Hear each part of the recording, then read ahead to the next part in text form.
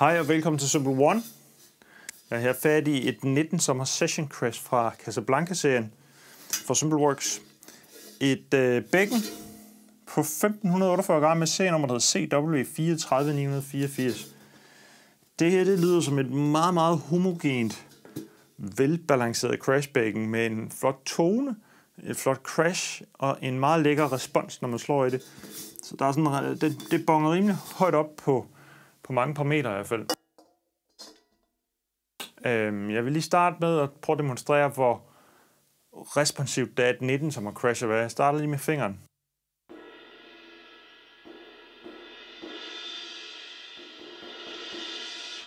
Altså, det bruger super fedt op. Jeg prøver lige med en stik.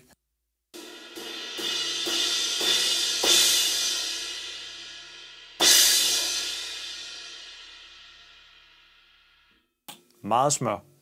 Det er virkelig lækkert at slå på det bækken her. Jeg tjekker lige overfladen.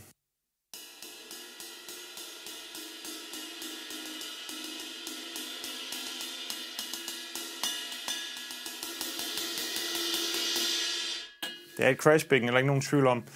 Men til sådan lavere settings øh, volumenmæssigt, altså også bare fordi det lyder så godt, som det gør, det har den her sådan tone, varme tone, øhm, kunne det jo godt bruges til nogle right ting. Det kunne jeg i hvert fald godt finde på, hvis jeg havde det her, vil jeg sige. Øhm, du køber præcis det her Crash på Simple One. Her kommer lige en demo.